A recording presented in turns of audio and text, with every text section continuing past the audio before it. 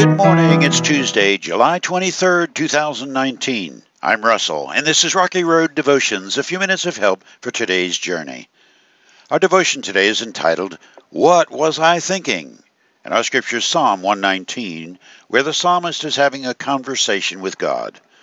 Oh, how I love your instructions. I think about them all day long. Your commands make me wiser than my enemies, for they are my constant guide.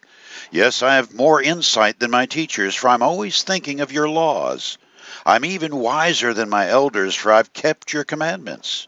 I've refused to walk on an evil path so that I remain obedient to your word.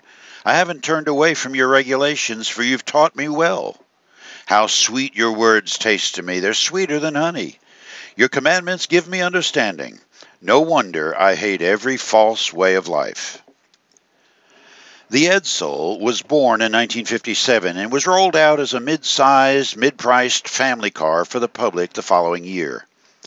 While initial sales were respectable, the 1958 so-called Eisenhower recession turned this high-performance gas guzzler into the most storied flop of all time in the auto industry. Named after Henry Ford's only son, Edsel, who had died 15 years prior, Edsel became the next generation's nickname for anything that was bound to fail. When Richard Nixon defeated George McGovern for president in 1972 by 26% of the vote, somebody suggested his middle name was probably Edsel. Well, the author of Psalm 119 is unknown to us. David authored about half of the Psalms, and it may have been from his early years before the dust up over Bathsheba. It makes little difference whether it was David, Moses, Daniel, or Heman who put pen on the parchment.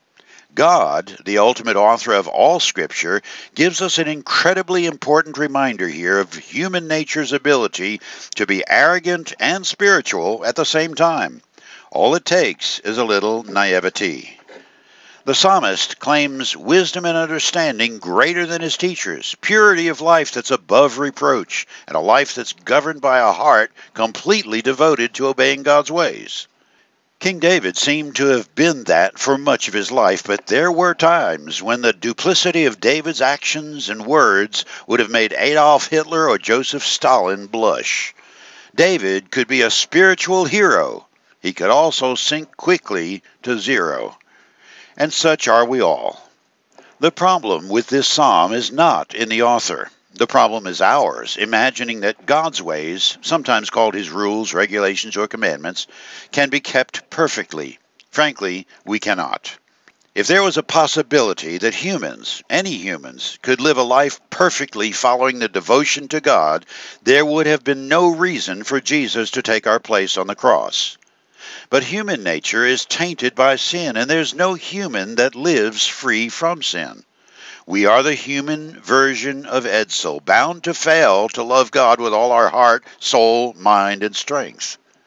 But God does not leave us in the pit of despair, even though we might choose that far country in which to wallow. As Paul asked in his letter to the Roman believers about his tendency to choose sin, doing the wrong he so intently wanted to avoid, and not doing the good to which his soul aspired and longed for, who shall deliver me from the body of this death? The answer echoed back that it was Jesus Christ who delivers us from sin. For you today, for human sinners, Jesus' death on the cross took away the penalty of our sin and made it possible to blunt its power over those who trust in his gift of atonement. And there's coming a day when even the presence of sin will be removed. You chew on that as you hit the rocky road. Have a blessed day.